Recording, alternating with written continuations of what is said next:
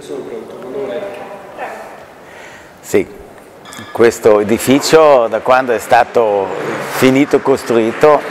ha una forte espansione. La cosa più bella è che arrivano talenti, tante persone brave che dicono voglio lavorare qua e questo è una cosa bellissima per un imprenditore che un edificio possa attrarre dei talenti per il lavoro.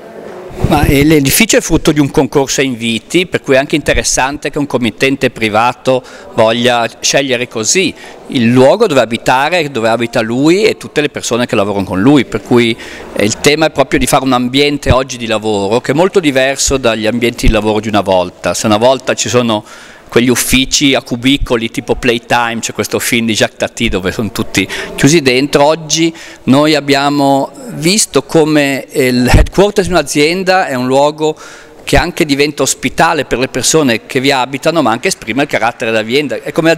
invitare qualcuno a casa propria in un certo senso. E secondo noi l'edificio è molto riuscito in questa dimensione domestica che, come diceva Heiner Oberauch, eh, facilita il rapporto di tutti i giorni tra azienda e il suo pubblico e anche le relazioni internazionali. C'era anche un aspetto pubblico, io penso che sia stato parte del brief iniziale che ha reso il progetto straordinario, perché un ufficio che di solito è una cosa molto privata, molto chiusa, invece dall'inizio c'è la volontà proprio dell'azienda e di Heiner di avere uno spazio che attraesse anche gli esterni, quindi che non fosse soltanto esclusivamente eh, dedicato a chi lavorava lì, ma anche fosse un, un luogo di incontro, un luogo dove